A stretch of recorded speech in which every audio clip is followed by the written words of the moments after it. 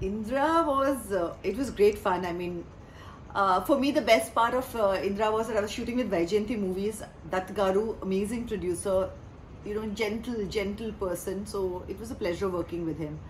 And then it was Chiranjeevi Garu. I mean, I was shooting with him, in awe of him. The worst part was that I had to dance with him.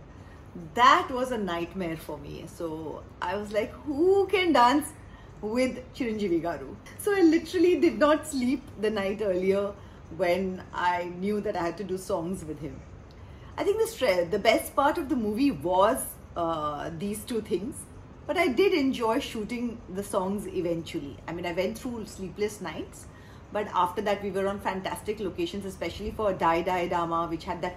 Uh, you know that Veena step that my god it was such a rage I remember at that point of time and when I went on set and when I saw him doing that and I was like oh, I have to do that and then they said, no, no, he will do that. I said, oh, thank God.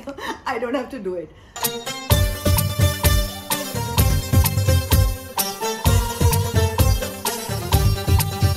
And then I was panicking about this song, but eventually I decided that, you know what, it is what it is. I'm just going to have fun.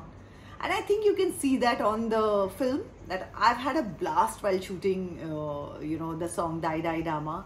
I think the other song that I really enjoyed uh, was uh, Krishna Mukunda na Na na na na na na na na na na na na na Govinda, Prime Kutinda, Kasigaram antu kaburettinda I don't remember the words, but I remember this tune. It was it was fun. It was a set song, you know, like a typical on-set big song dancers. And I remember that we were shooting in Hyderabad, and uh, Chiranjeevi Garu's family would come. So his kids would come, and you know the rest of it. It was it was really like good fun. Uh, Garu's family would come. So you know there were it was it was a great atmosphere, uh, great people to work with, amazing unit to work with, and um, I'm really looking forward to the re-release. I hope you all enjoy it in the theaters because uh, I, you know you've been watching it probably on your phones and stuff like that, and now to go and watch these songs again.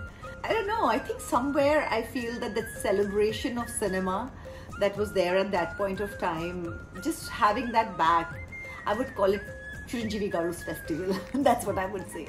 And I think it will be great to watch it on the big screen, and I'm looking forward to hearing uh, what you all think. I hope you give it as much love as you gave it the last time.